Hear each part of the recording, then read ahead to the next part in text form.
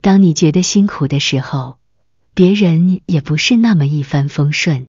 当下雨的时候，学会自己为自己撑伞，这需要练习，也需要习惯，更是一种能力。当人心寒的时候，你是怎么捂都捂不热的。一个人真正的心寒，不是哭，不是闹，而是整个人都变得沉默。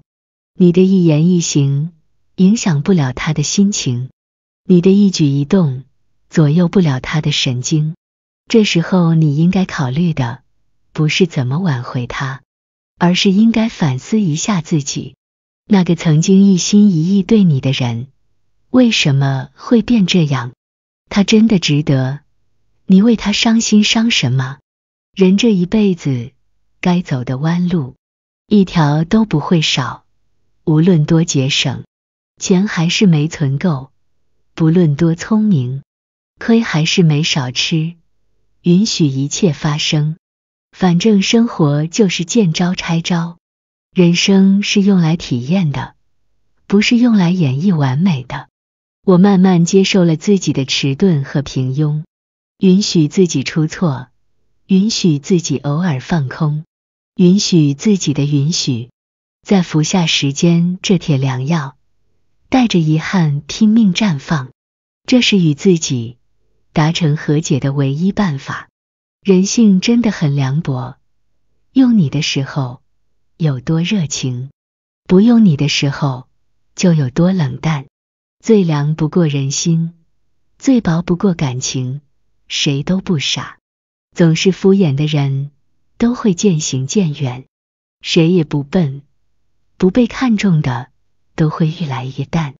看破不说破。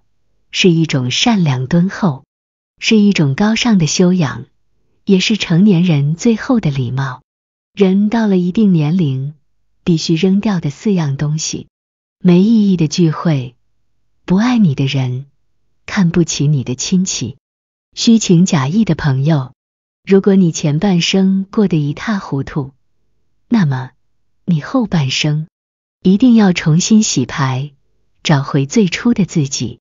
其实你什么都不缺，只缺一份重新开始的勇气。